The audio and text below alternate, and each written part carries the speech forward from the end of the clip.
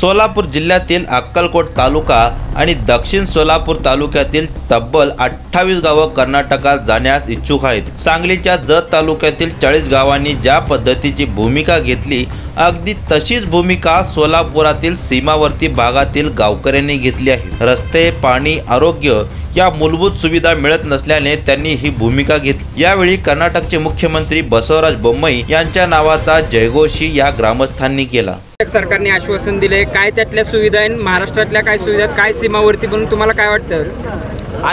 म- मी- माझं नाव मल्लिकार्जुन अण्णाराव पाटील शेगाव सरपंच. जर कर्नाटक जरा विचार केलं तर आमच्या गावापासून एकच किलोमीटरवर कर्नाटक गाव आहे. हां? आणि तालुका आहे कर्नाटकाचा. त्या तालुक्यामध्ये अनेक सोयी सुविधा आहे. शिक्षणाची विद्यार्थ्यांना शिक्षण त्या ठिकाणी जिल्हा परिषद शिक्षण हा दहावीपर्यंत आहे.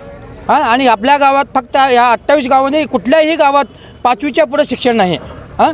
आणि शिक्षक जरा एका गावात बघितलं तर एक शिक्षक दोन शिक्षक तीन शिक्षक असतात. कशामुळं? तर रस्ता नाही महत्त्वाची गोष्ट. रस्ता नसल्यामुळे शिक्षक येत नाही. आणि ये येणारा शिक्षक असा येतो की बाबा रस्त्यानं आम्हाला थकलं थकले आहे मी झोपतो. असं करते. त्यासाठी महाराष्ट्र सरकारला एकच विनंती आहे की आपल्याला तात्काळ तुम्ही ज्या सुविधा आहे रस्ता वीज शिक्षण आरोग्य या सुविधा जर पुरवठा करा नाहीतर आम्हाला कर्नाटकमध्ये जाण्याची परवानगी मिळावी.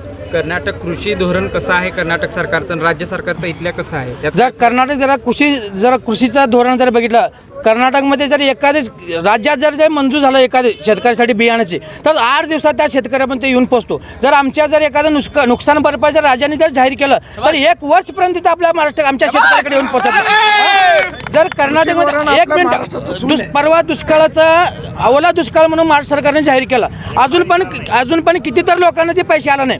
तर कर्नाटक शेतकऱ्यांनी असं करणे ओला दुष्काळ जाहीर केलं तर पहिला त्यांच्या अकाउंटवर पैसे प- येतात शेतकऱ्यांच्या अकाउंटवर नंतर त्यांच्या शेतकऱ्याची मोजणी होऊन जाते. असं त्यासाठी ती क- कर्नाटकमध्ये शेतकऱ्यांना भरपूर सुविधा आहे. आणि बिये बियाणे जे आहेत ते सगळं फुकटमध्ये भेटतात. वीज आणि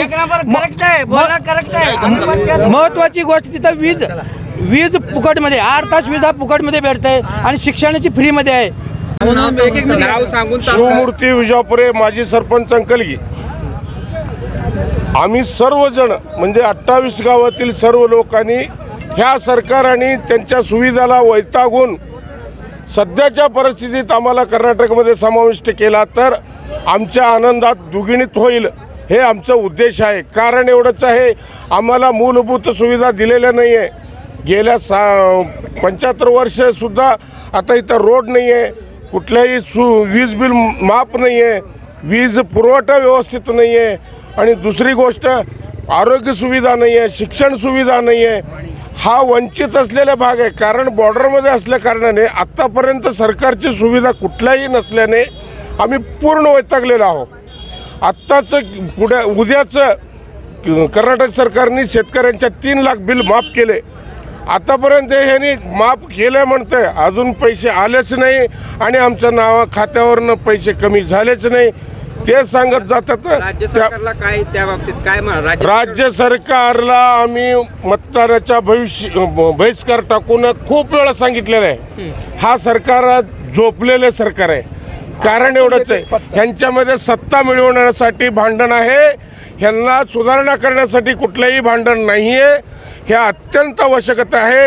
आमचा भाग पूर्णपणे विनाशात विनाशाकडे चालले लोकाला उद्योग नाही आहे निरुद्योग लोक जास्त झालेले आहे.